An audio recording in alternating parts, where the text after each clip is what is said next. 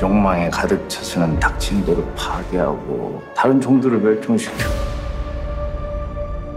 인간은 바이러스고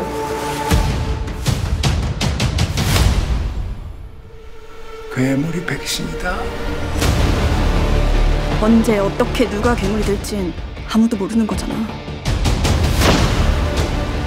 아무도 믿지 마십시오.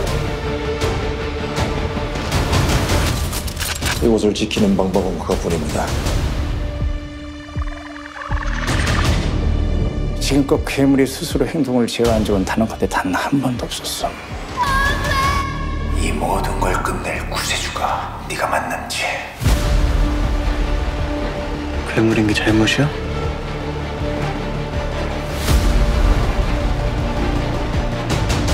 이런다고 널 인간으로 받아줄 것 같아? 내가 얘기해 줬잖아.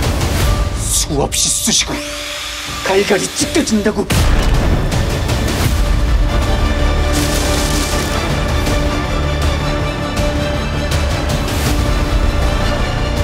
안 돼. 인간이라도. 청소를 아무리 해도 깨끗해지지 않으니까. 괴물이었어. 괴물이 이렇게 진화한 거야. 사람들도 다 나빠. 무서워서 그래. 네가 죽더라도 그래도 괜찮겠어? 이 모든 걸 끝낼 수만 있다면